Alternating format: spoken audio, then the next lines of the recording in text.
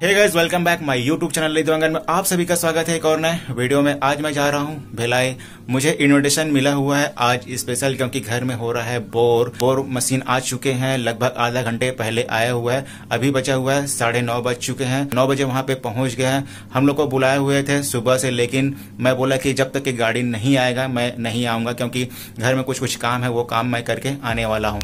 जब इतना बड़ा काम हो रहा है, मम्मी, पापा और भैया लोग के साथ रहना ज़रूरी है, क्योंकि उन लोग भी इतना बड़ा काम फ़र्स्ट टाइम करा रहा है। जाना बनता है तो मैं सोच रहा हूँ कि अभी जाकर शाम को चार पाँच बजे मैं वापस आ जाऊँगा, क्योंकि बोर जो खुदाई का जो समय लगता है किसी किसी के घर में देखा हूँ, आठ से दस घंटे, हो सकते हैं बारह घंटे कभी कभी प्रॉब्लम आ जाते हैं। तो वो प्रॉब्लम ना आए, मैं ऐसे ही भगवान से रिक्वेस्ट करता हूँ, अच्छे से हो, पानी भरपूर मात्रा में निकले। तो चलिए मैं निकलता हूँ मम्मी के घर और मेरी यहाँ वाइफ अभी तैयार हो रही है। अब मैं तो रेडी हो चुका हूँ।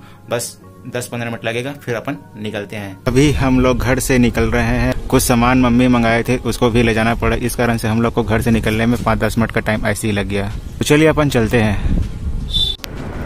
अभी मैं घर से निकल गया हूँ। मैं अपने घर से एक दो किलोमीटर आसपास में पहुँच चुका हूँ। ये आपका हथखोज चौक है। ये सामने आपको दिख रहा है पेट्रोल टंकी है और जस्ट सामने में है रेलवे क्रॉसिंग अपना पहुँच गए हैं छावनी चौक पहुँचने ही वाले हैं। सुबह सुबह देख सकते हो यहाँ पे बहुत ज़्यादा गाड़ियाँ भी चलती है। ये आपका हाईवे तो नहीं बोल सकता लेकिन ये जो बाईपास रोड है यहाँ पे आपको बड़ी बड़ी गाड़ियाँ देखने को मिल जाएगा। ये सीधा सीधा आपको लेके जाएगा छावनी चौक के लिए। आ, इस साइड में कई बार आ चुका हूँ और यहाँ से आप लोग राइट की ओर जा सकते हो। जामुल के लिए भी जा सकते हो और सीधे सीधे छावनी के लिए। यहाँ पे आसपास में बहुत सारे प्लांट है। इस कारण से यहाँ पे आपको बहुत सारी गाड़ियाँ देखने को मिलेगा। सुबह गाड़ी लग जाएगा करके बोला था, लेकिन सुबह गाड़ी नहीं लग पाया था। नौ बजे गाड़ी लगा हुआ है, सामान सेट वगैरह करते करते ग्यारह बजे का टाइम बताया हुआ है, तब तक के हम लोग पहुँच ही जाएँगे। तो चलिए, चलते हैं। यहाँ पे बोर मशीन लग चुके हैं। अभी मम्मी, अभी पूजा की तैयारी कर रहे हैं और अभी नानी यहाँ पे आई हुई है। पापा जी साथ में है और ये छोटा वाला साले साहब जी हैं। ये राहुल भैया हैं और साथ में जो मशीन वाले लोग आए हैं वहाँ पे खड़े हुए हैं। बस ये पूजा पाठ हो जाएगा, फिर ये काम स्टार्ट हो जाएगा। हम लोग अभी दस मिनट पहले पहुँचे हुए हैं। अभी भैया पूजा कर रहे हैं। इस तरह से ये दिखाई देता है ये मशीन। गाड़ी वहाँ पे सामने में खड़ा हुआ है। तो सब धीरे धीरे अपन पूजा पाठ करेंगे, फिर काम स्टार्ट होगा। मशीन वाली गाड़ी वहाँ पे खड़ी हुई है, पाइप के द्वारा यहाँ तक लाए हुए हैं। बड़े मामा जी वहाँ पे खड़े हुए हैं।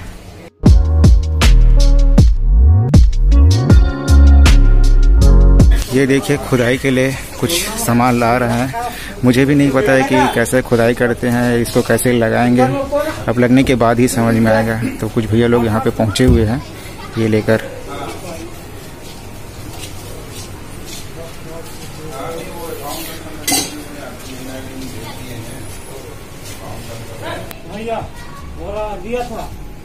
गोरा है ना? और है इसमें और है?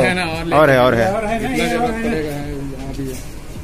बोरा लगता है, खुदाई के टाइम इसमें रखते हैं। जैसे ही पानी का जब स्रोत जब आएगा ना तो उसमें ये छीटा ना पड़े दीवारों में, इस कारण से उसको लगाया जाता है। तो अपने पास बहुत सारे बोरा रखा हुआ है। इस तरह से बोरा लगाना पड़ता है।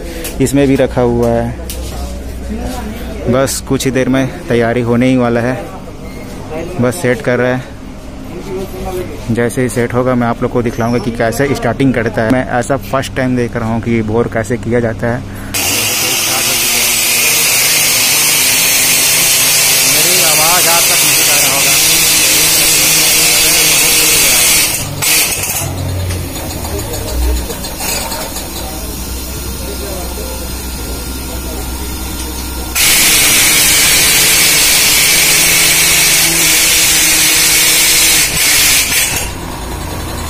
देखो स्टार्टिंग में वो वाला पाइप लगा रहा है ताकि नीचे खुदाई कर सके।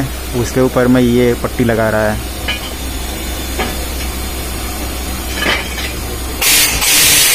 तो आएगा।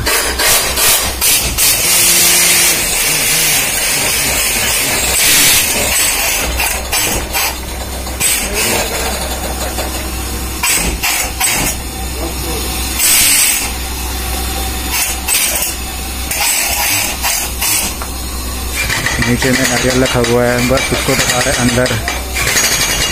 देखो धीरे धीरे हो रहा है।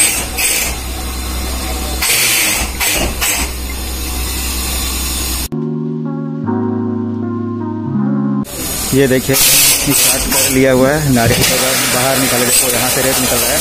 क्योंकि तो फ़र्स्ट लगा हुआ है करंट से रेत निकल रहा है। हमारे घर के फैमिली लोग आस पास के पड़ोसी लोग भैया लोग भी देखने के लिए आए हुए हैं यहाँ पे। कैसे होता है अपने लाइफ में मैं फ़र्स्ट बार देख रहा हूँ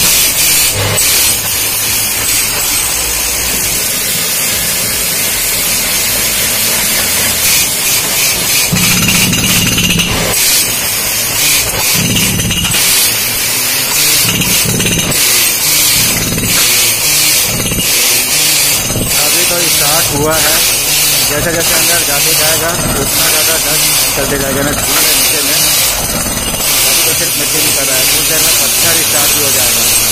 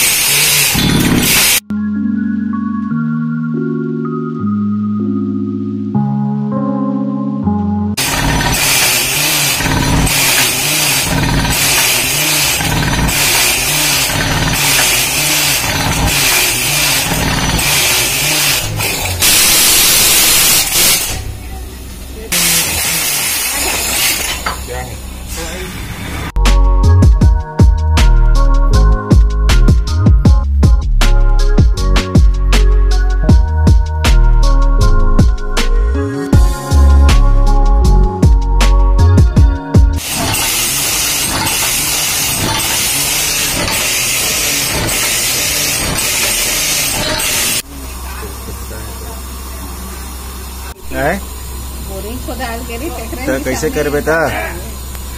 छियासठ फीट तक का गहराई हो चुके हैं। अब इसके बाद इस पाइप को निकाल रहा है क्योंकि इसके बाद केसिंग डालने वाला है। तो केसिंग छियासठ फीट का डालने वाला है। बाईस बाईस फीट का एक केसिंग है मतलब तीन केसिंग लगेगा। उसके बाद फिर खुदाई स्टार्ट करेगा। और स्टार्टिंग में जो समय लगता है दो घंटा ढाई घंटा अभी तक लग चुके हैं। आगे कितना टाइम लगेगा खुदाई करने में आपको बतलाऊँगा। केसिंग पाइप लगना स्टार्ट हो गया ये जो पाइप आप लोग को दिखाई दे रहा है, ये पूरा 22 फीट का है। तो ऐसे ही तीन पीस डालने वाला है छियासठ फीट तक के। उसके बाद फिर अभी पहला डल चुके हैं, ये सेकंड है।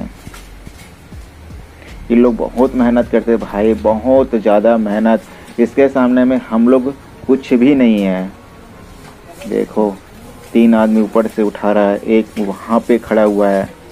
और आप लोग को मैं दिखा रहा हूँ, ऊपर एक छत में खड़ा हुआ है। इस भाई साहब ने, देखो पाइप को कैसे अरेंजमेंट किया। एक ऊपर छत में, ये देखिए। बहुत मेहनत लगता है भाई इस काम में।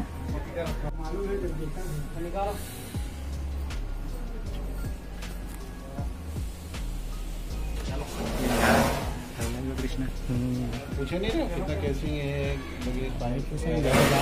मम्मी बस करते हैं, अपने करा।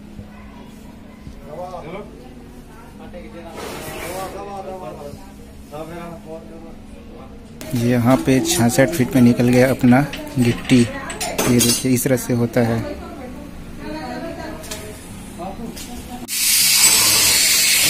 गाइस देख सकते हो अभी पानी आ गया है और ये एक सत्तर फीट में आया हुआ है। और अभी हम लोग करा रहे हैं तीन सौ फीट के आसपास।